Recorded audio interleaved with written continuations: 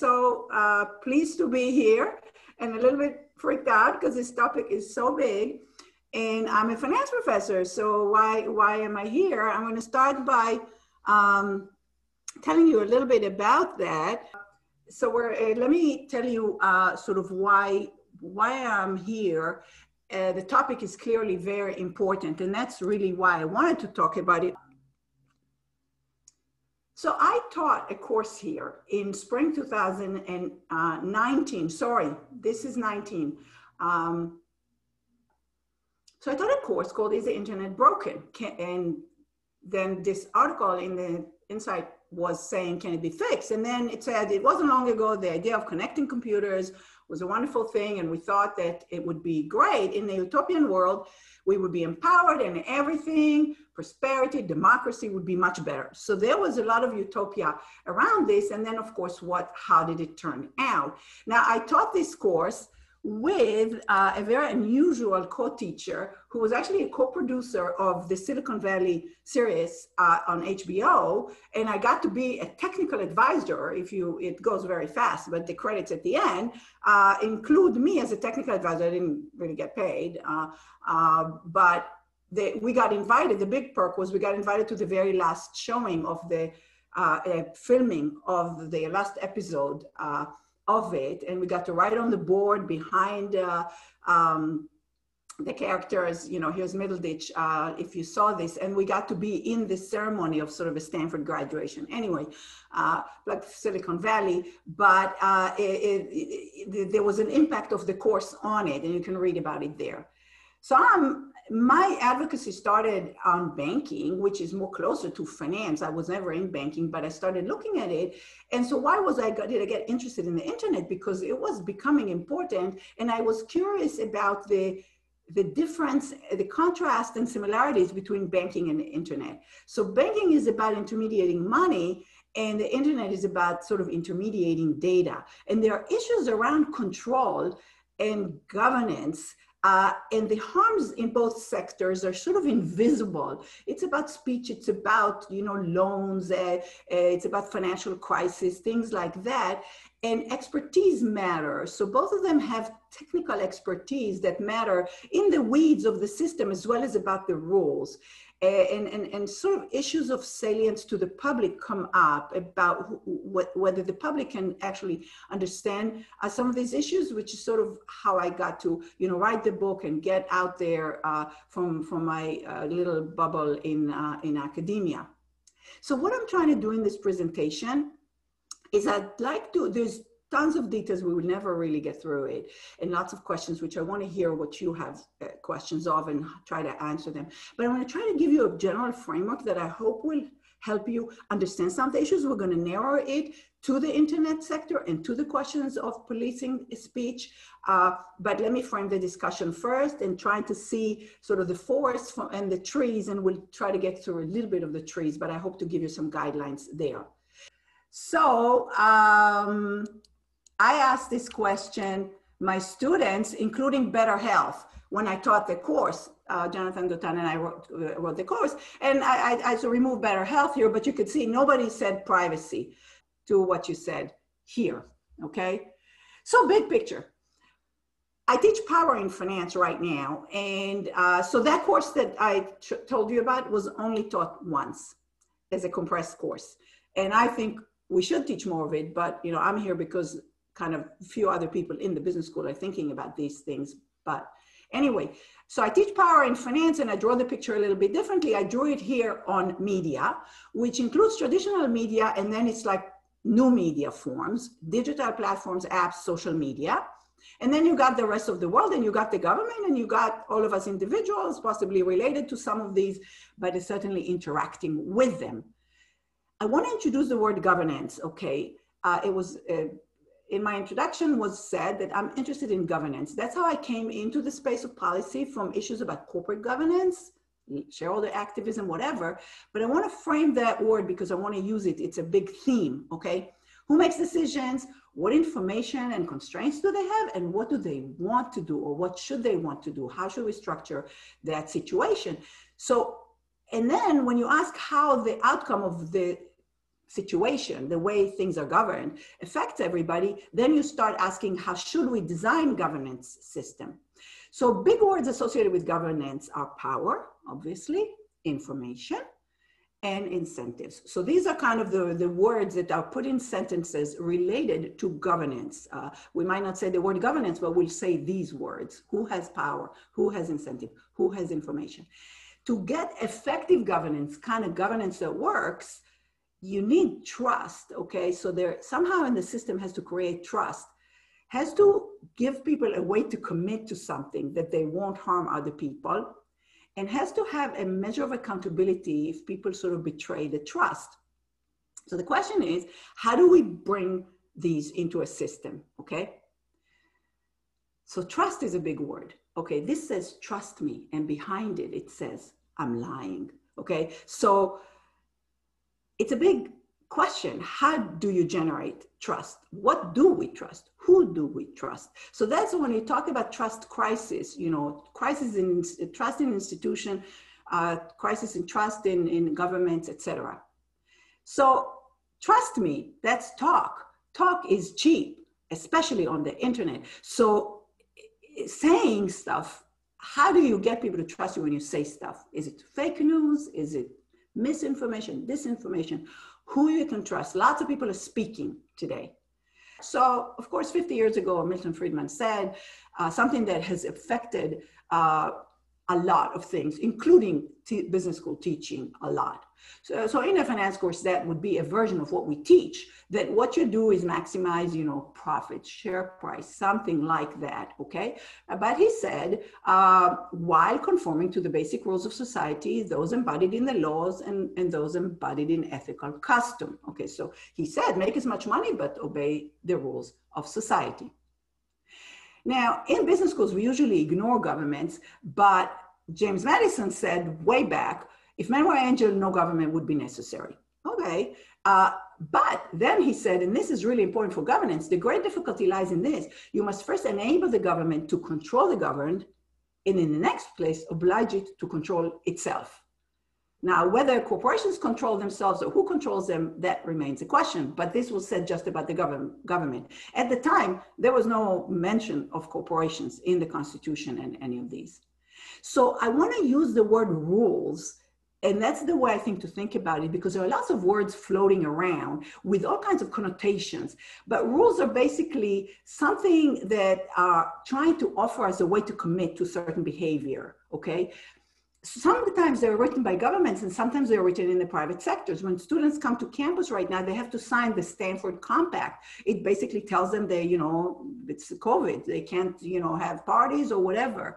Uh, they have to get tested, so they have to sign the Web Honor Code, etc. So these are written in the private sector and say, okay, if you belong in this community, that's what you have to do. So terms of service, privacy policy, community standards, all these names charters of corporations, bylaws, ethical norms, etc., versus the rules written by governments or across governments, laws and regulations and acts and treaties, directives, executive orders, and all rules, including even constitutions that are sort of at the base of any so, so, sort of governed society, sovereign or, or local government, uh, need adjudication and enforcement. So you always need some referee on it.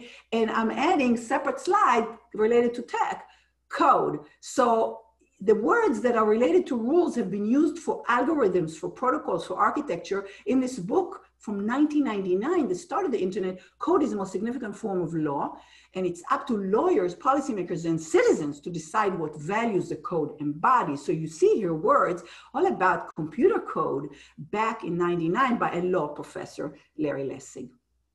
And of course, these are formal rules and there are also implicit rules. There are societal norms, there are ethical norms. So I'm just putting it in perspective. Yes, some rules are formal. The speed limit is formal and the policeman will stop you. We decided we don't want people to drive fast. Okay. And that's what we decided as a society to live by. We made these rules. Okay. So I want to use the word rules for all of those things. And it's just a question of who sets them, what enforcement mechanisms they have for them, or are they just informal rules that we enforce as a, as a society or internal rules that we follow ourselves? Democracy is the governance of the government of the people by the people for the people. So you know it is in crisis at the moment and i think a lot of these things are related.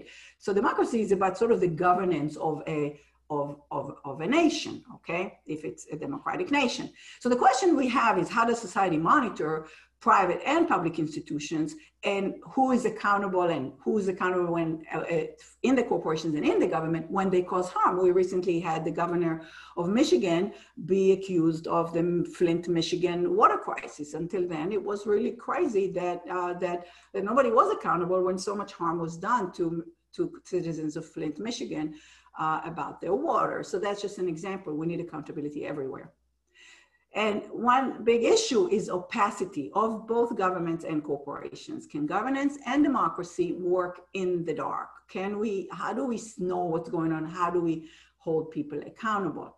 So democracy requires, it's a sort of a shared uh, kind of process. Committed and informed citizen who believe in distributed power, believe in compromise, informed debate, all these things are very quaint today. A set of interlocking institutions representative bodies, courts, media, decision-making mechanisms for how we make decisions as a society.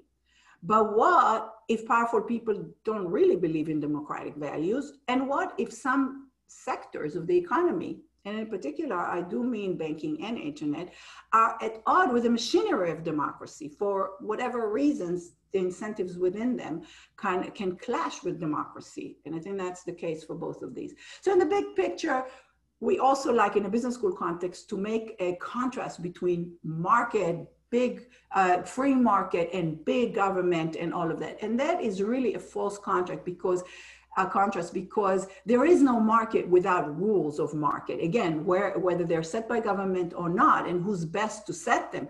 The key feature is what are the rules of the game for markets for institutions for people? Who determines the rule? Who can enforce the rules and how? Um, and if it is true that the governments are failing and therefore companies need to save us and be sustainable and solve all society's problems, why is the government failing? What has gone wrong that our democracies are failing uh, to do the right things on whatever it is? Okay, that's the question I think better asked uh, as a basic question that should be a concern to all of us.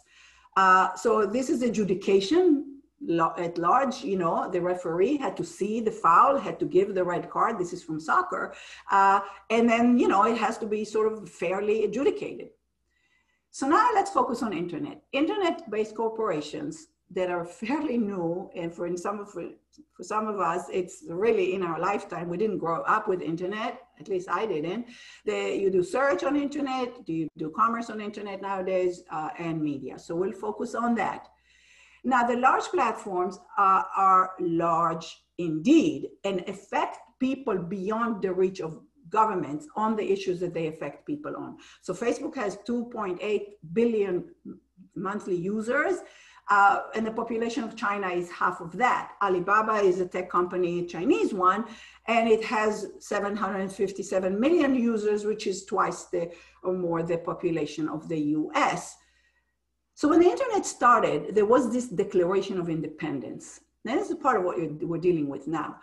Governments of the industrial world, you weary giants of flesh and steel, I come from cyberspace, the new home of the mind. On behalf of the future, I ask you of the past to leave us alone. You are not welcome among us. You have no sovereignty where we gather. So this is one of the initial you know hippies that started the internet and there is a tone to it which is you know get out of the way. The internet will solve will, will be it and the governments should not bother us. And that was sort of a guiding principle for most governments except the chinese one that pretty soon realized that they are not going to be out of the way at all. They're going to actually take over.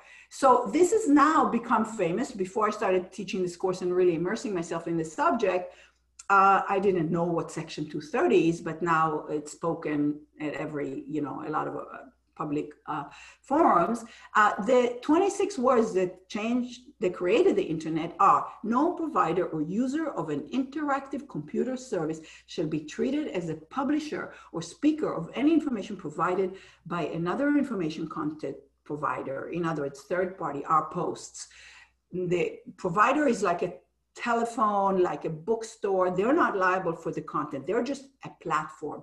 So if you if you listen when when a Google uh, CEO is in front of Congress, they keep saying, "Are you new? Are you media? Are you media?" And he's like, "No, no, no, we're platform. We're platform," because they need that that that classification to work.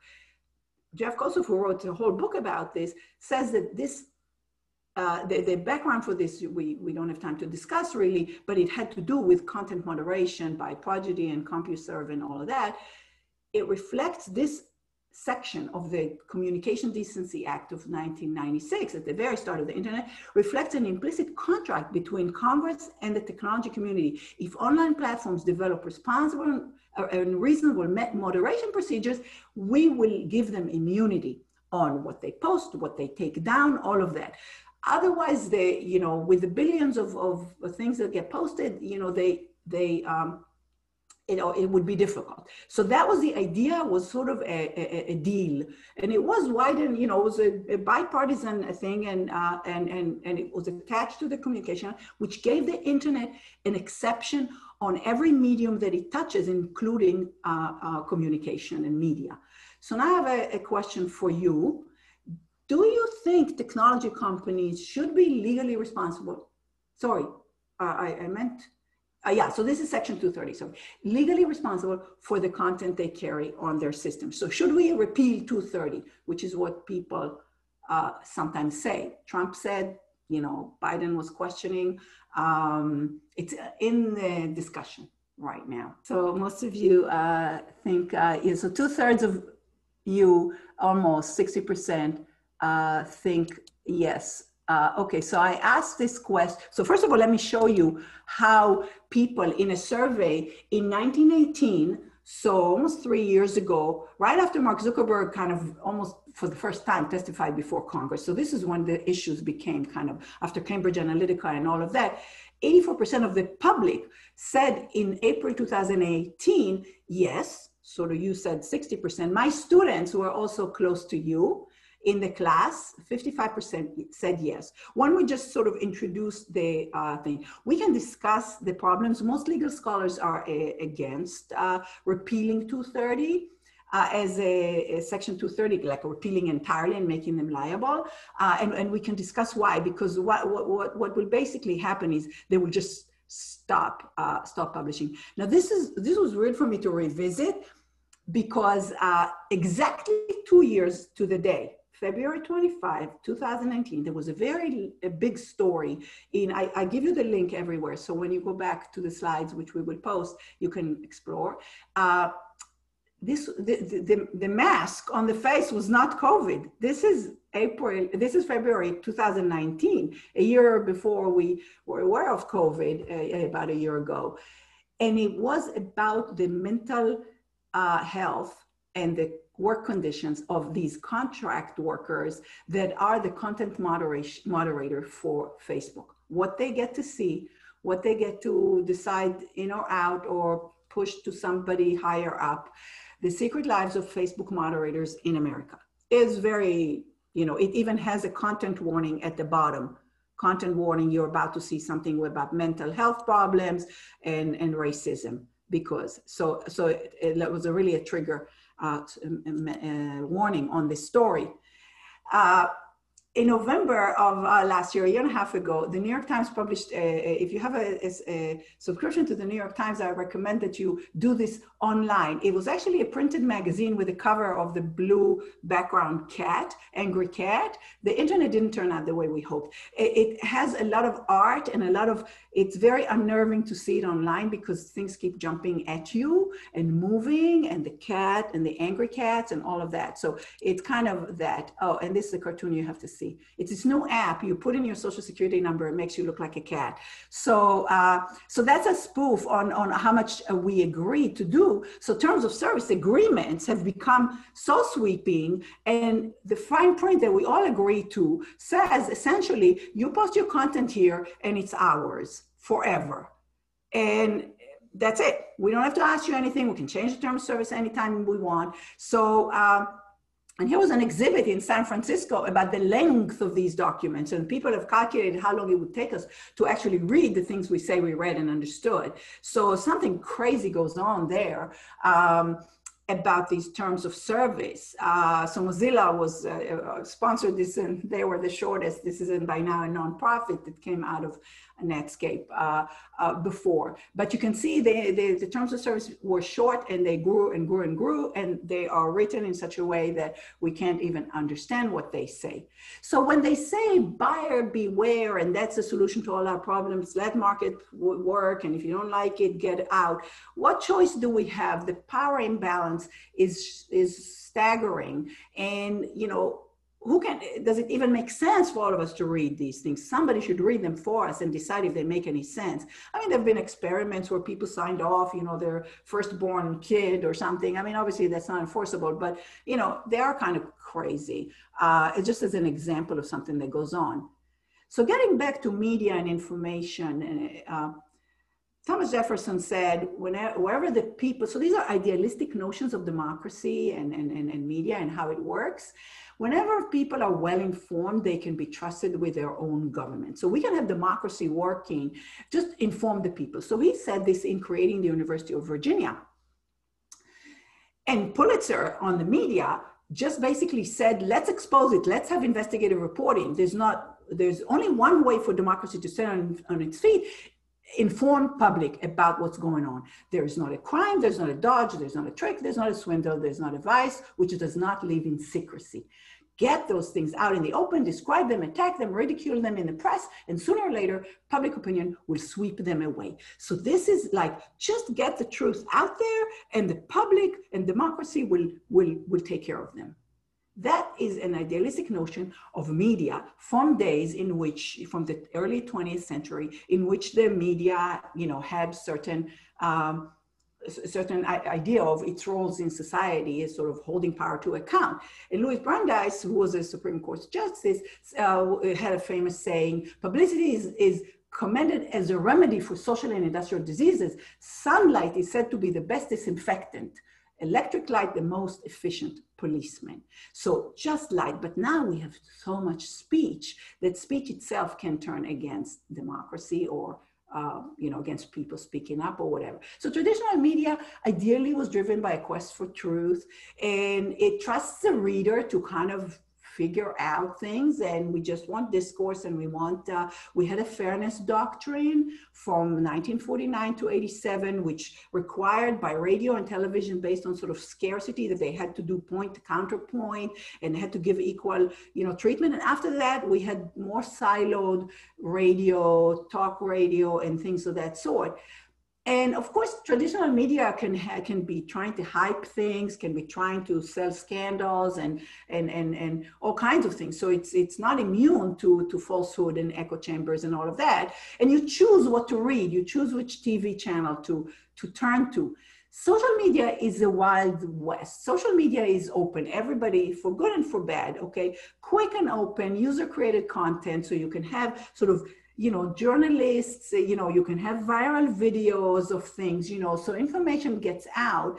Nominally it's more democratic but there's a lot of algorithmic curation that is very targeted. They kind of put a news feed on it and uh, their objective is to maximize engagement because that's how they sell advertisement and that is become the business model of facebook and google especially. And by that they have completely robbed all kinds of other media, uh, which is sort of traditional media going online, like uh, from advertisement um, by taking the lion's share of advertisement, basically killing local media uh, as well. So we have severe deserts of media in terms of just informing citizens.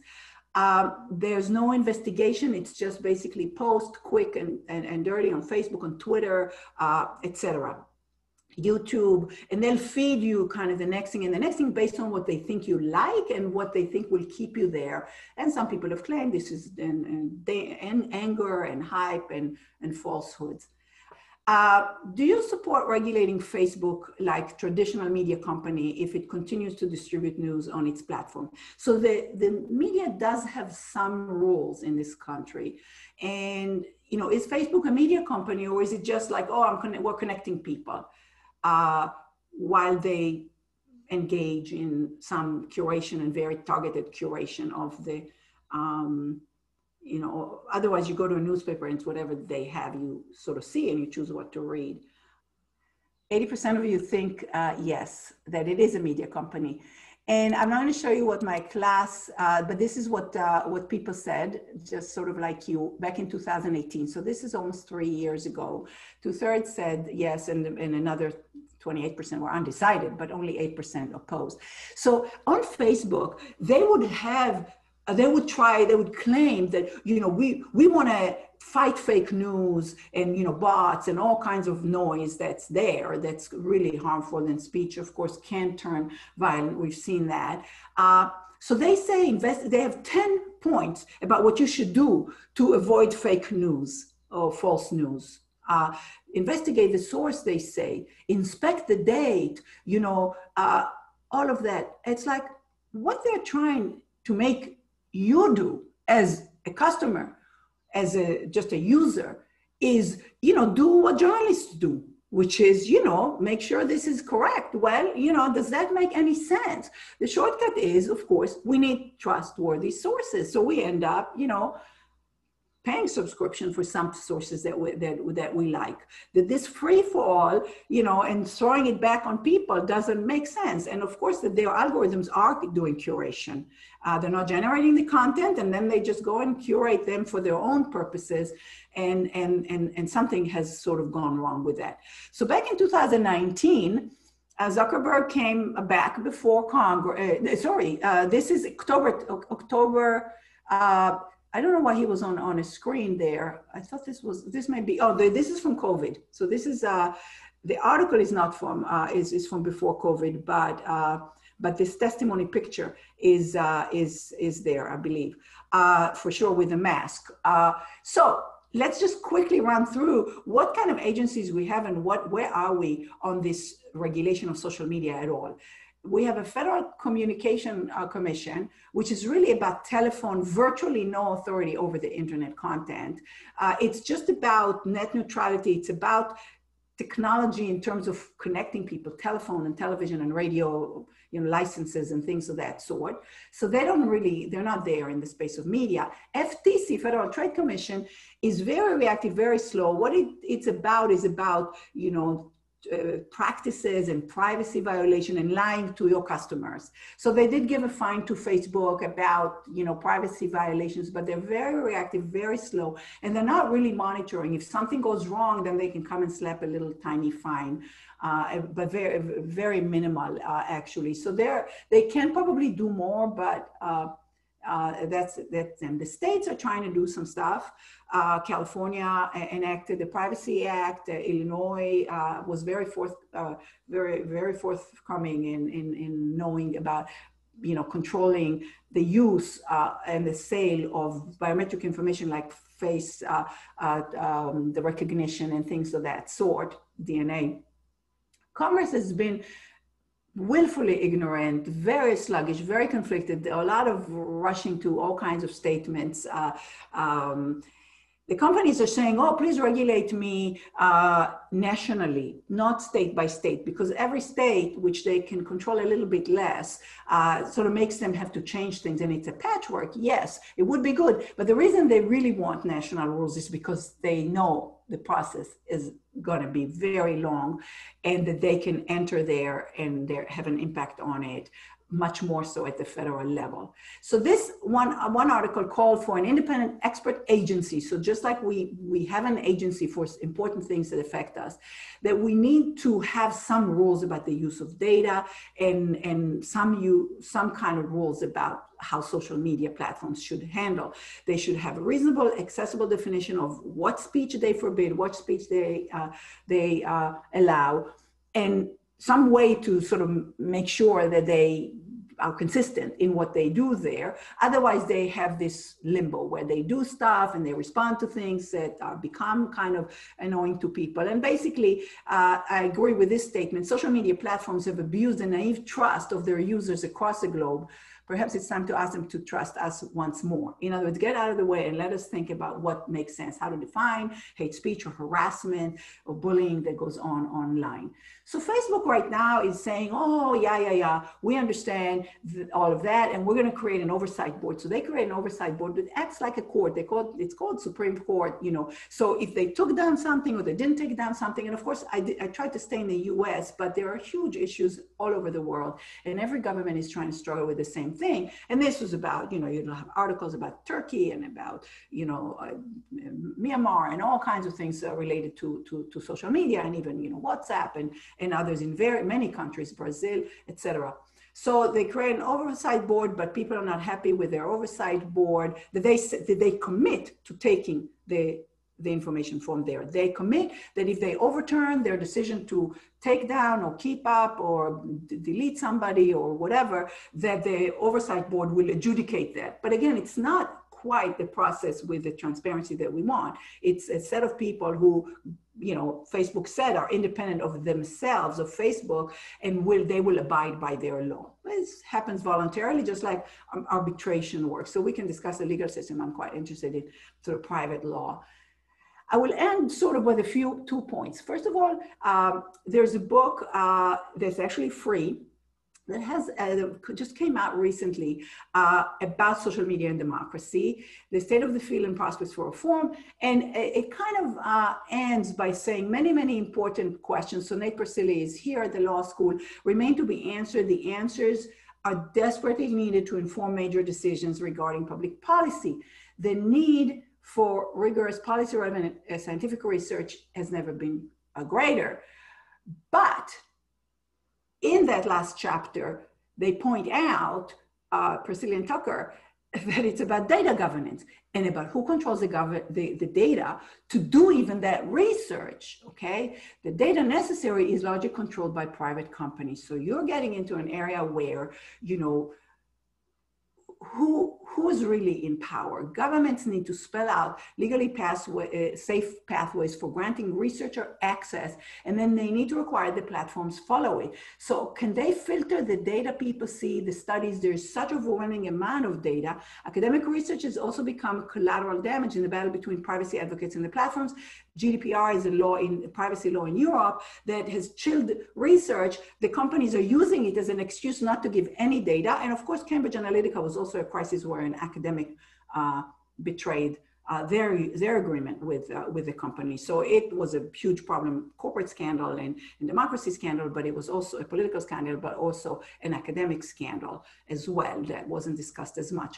And the big issue as well is the funding of research. How do you fund trustworthy research that's not funded by the company, that's not controlled by the company, when uh, in this situation uh, where where they're afraid of the, some findings? So I end by asking, what is the role of the university? Because I speak as a university professor and especially business schools in situations involving significant governance challenge. What I've realized is that we're not doing enough about this in business schools in general, both for the corporate governance and for worrying about the governance of society as a whole, including the, the, the society's governance of corporations. So we say things like change lives, change organizations, change the world. But what do we mean by change the world? How and on whose behalf? This is the Harvard logo. We educate leaders who make a difference in the world. What kind of difference? Uh, on whose behalf difference. I want to highlight Arjay Miller, who many of you, if you've been around, heard the name. Okay, so this is our beloved dean um, of many years ago who died recently at age uh, at age 101. Uh, and I spoke with him after he was 100 and he was very lucid. So I'm in awe of the person. And just about a year ago, I discovered a speech that he gave right before taking over the business school deanship here. And he was coming from Ford, uh, from the auto industry, was a Whiz Kid, etc.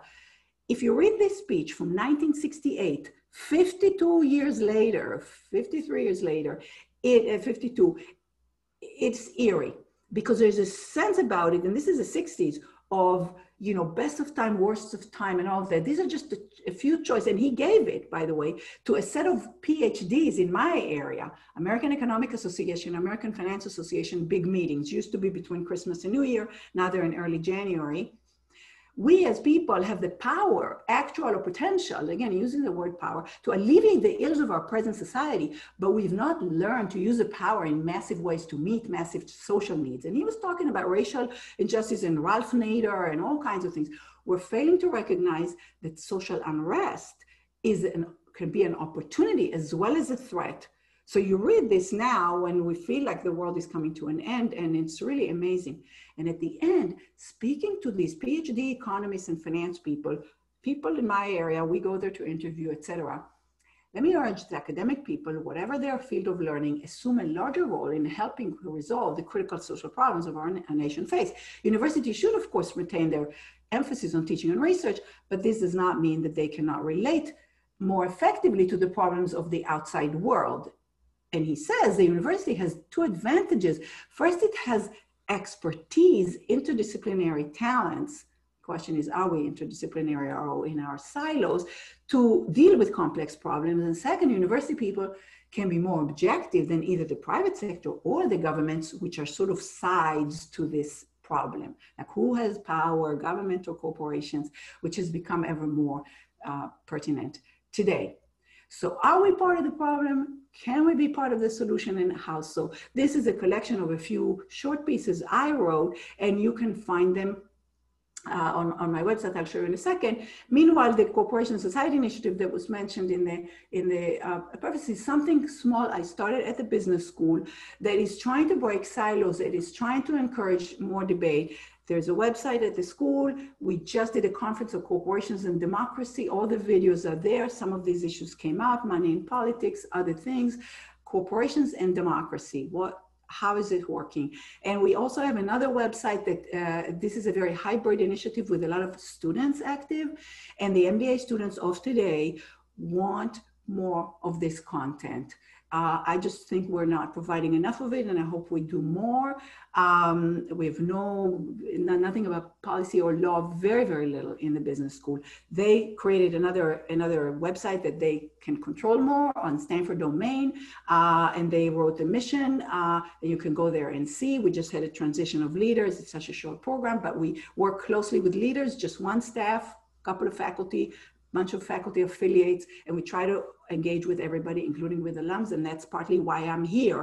And I feel that this is a legacy of Arjay Miller, what we're trying to do, because we also try to get involved in policy if we can, if we have expertise that we feel is useful to society. I changed my activities over the last decade, um, and uh, I added advocacy to the tabs, uh, and you can see some of these short pieces under opinion pieces, and I do all kinds of things. I probably post this uh, uh, under presentations uh, somewhere. and that's the, that website.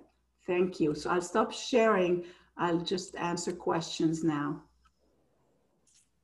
Thank you, Anat. Uh, we have quite a number of questions. I'm going to group some of them um, that seem to fit together. We have a lot of AI questions. So first of all, how do you police AI generated content? And on the flip side of that, isn't the solution to um, of moderation at scale to have AI be the ones that go through uh, and moderate? This is such a great question, and it's a complicated question. Um, so yes, I mean, so so there. How do you? We had in the course, uh, in the same class, Roger McNamee, who wrote the book Zucked, which is he's an investor in Facebook and he just got horrified after the election and all the stuff that happened. What happened to Facebook? How has Facebook become this sort of harm on society thing? But he's an outsider to Facebook. And we found through some Stanford classes in engineering a, a person who uh, worked at Facebook briefly after the election trying to fix it. And he's an algorithmic guy, guy who worked uh, before that at uh, Netflix uh, doing the algorithms that I don't really mind, that recommends movies to you, etc.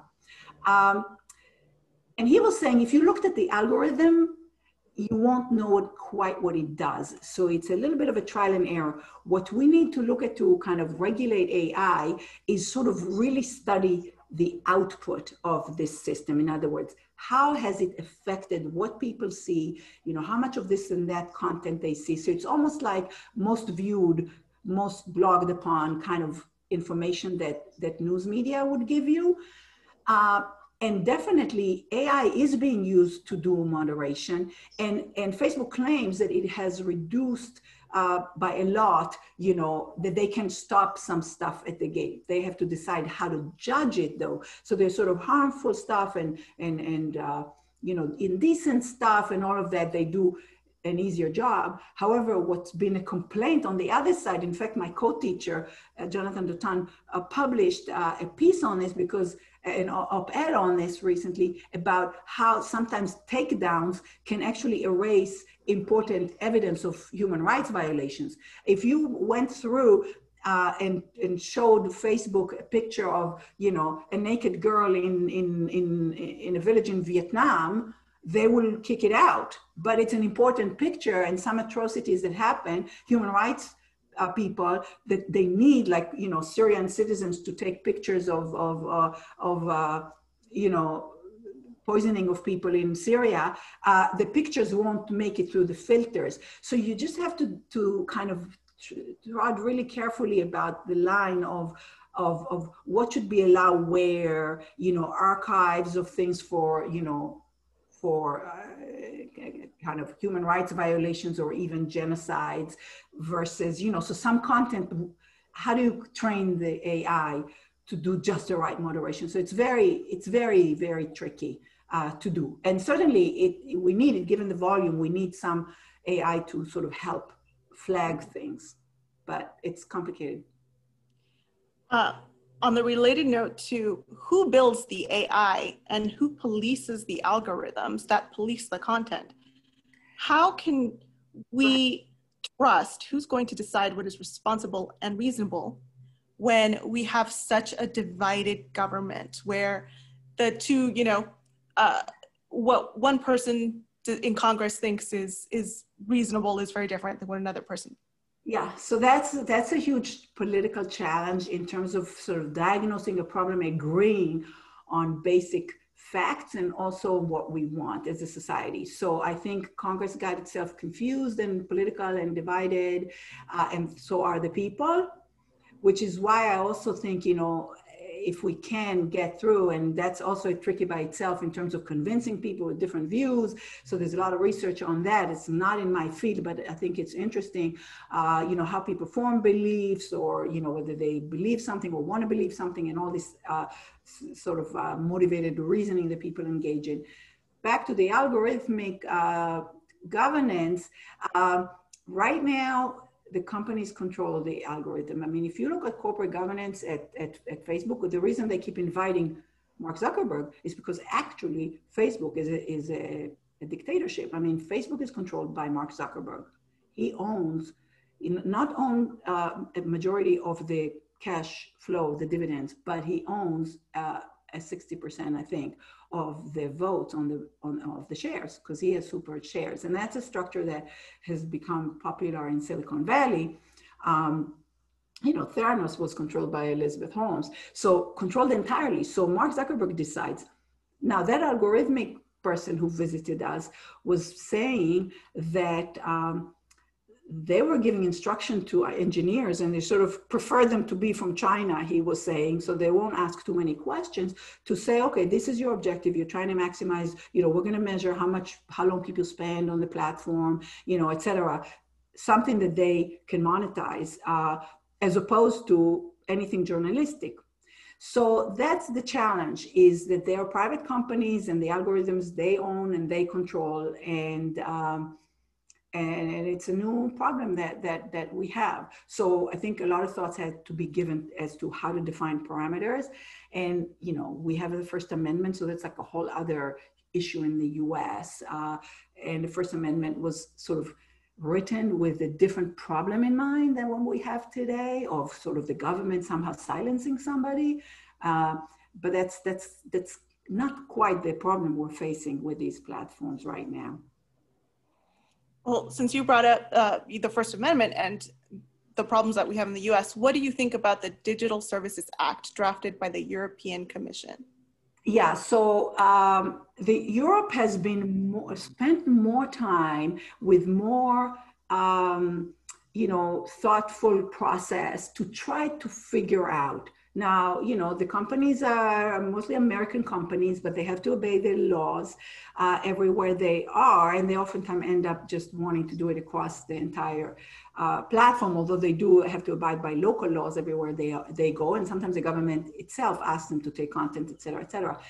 In Europe, uh, they've been much more forthcoming on, on uh, and, and already have a few laws in place that are giving people a bit more right and control. For example, right to be forgotten is something that, you know, is basically you, you can in Europe ask companies to remove uh, content about you, which could really mess up your entire life if somebody even, it could be like a lie about you too.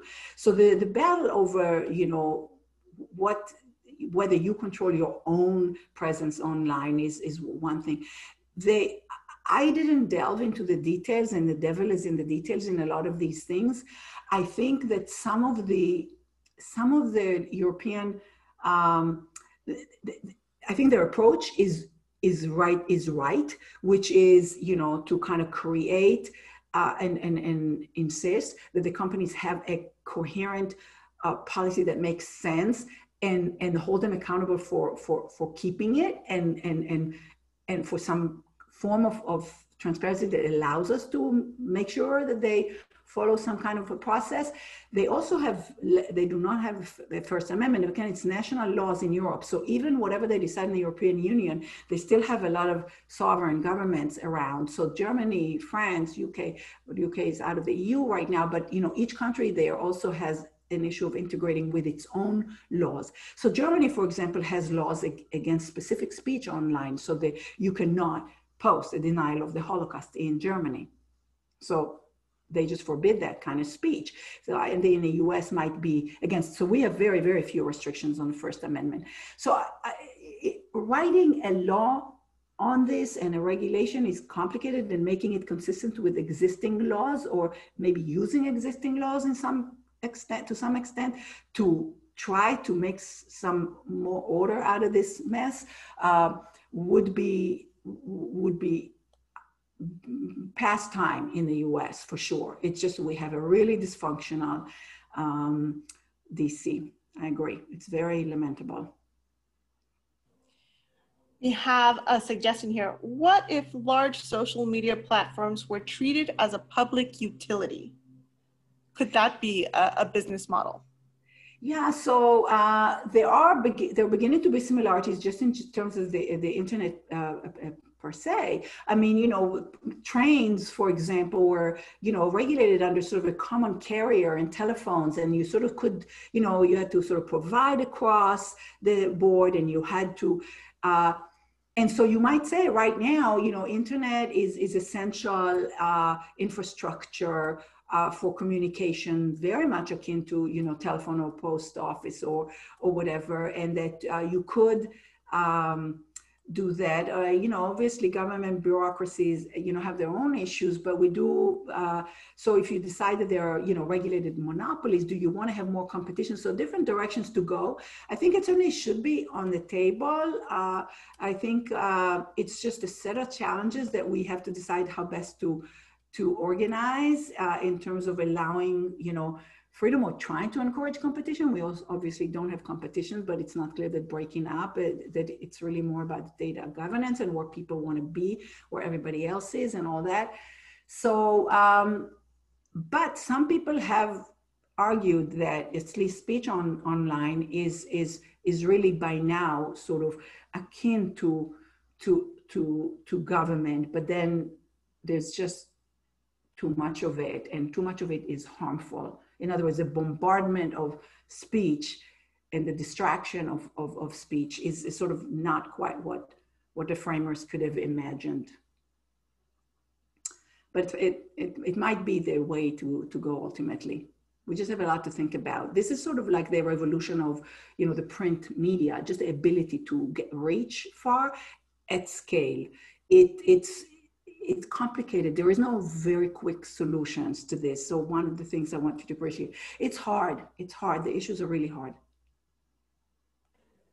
I think we have time for one more question. Uh, so I'm going to go along with, with the idea of freedom of speech. Somebody mentioned that the right to speak doesn't necessarily mean it's your right to be heard.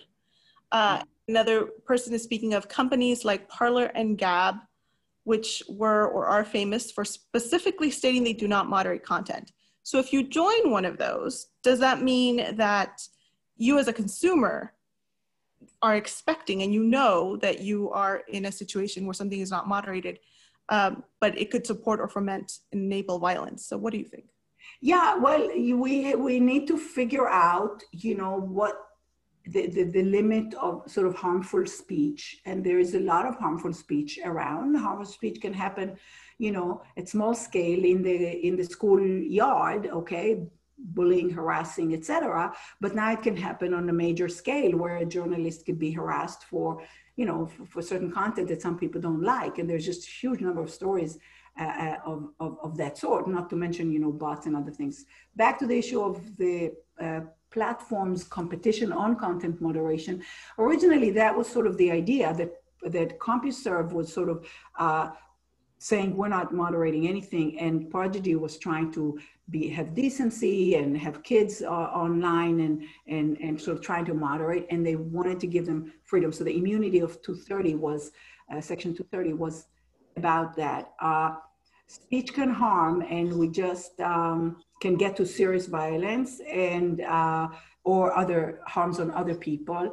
And uh, speech is very easy right now. So um, I do think we have to come to terms with with what what what are the you know if we don't change the constitution, what are the legal parameters under which we can try to uh, to create safer uh, ways of communication and actually communicate uh, and have some kind of a truth when it's not Walter Cronkite that tells us every evening what to think or whatever, but like this this wild west that we have uh, online right now in the last minute, I'm going to throw out another uh, interesting question here is what if the fix is simply that there is no further anonymity on the internet? Isn't anonymity a large part of the problem?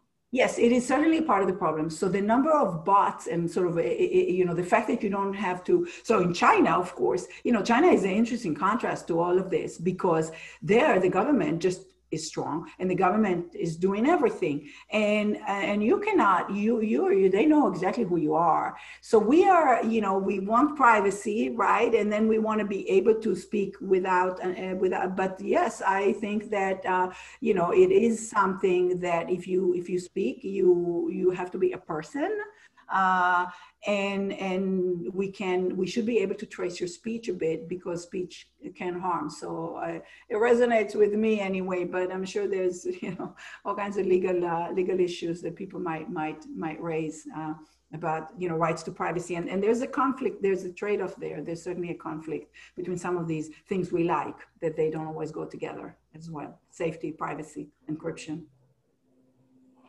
well, thank you so much, Anat. That brings us right, right to 10 o'clock. Thank you very much.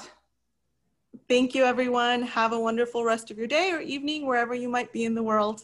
Bye-bye.